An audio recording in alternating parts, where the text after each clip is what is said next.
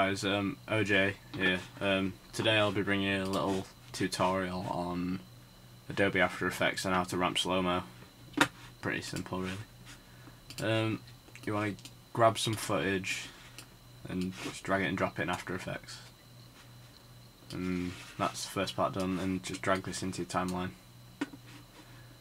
Yeah, wherever it is, there you go.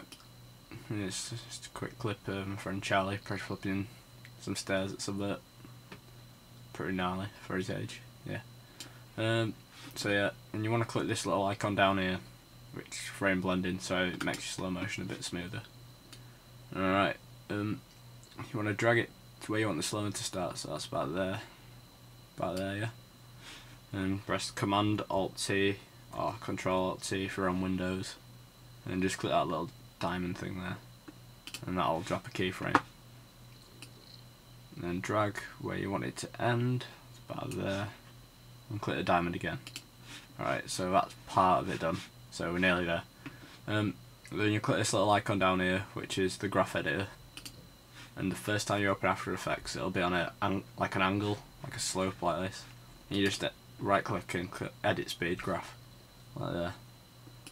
Alright, so you want to drag this this line here out like that make sure that says one layout.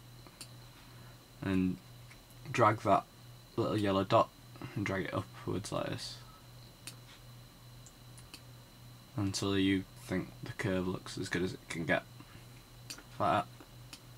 And basically that's pretty much it. That is a ramp slow-mo in Adobe After Effects.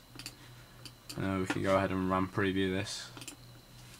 Which might take a while because I'm recording but whatever. Right, and then here's what it looks like.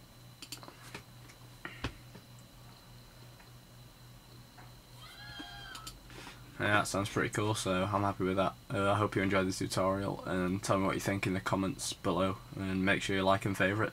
Cheers. Bye.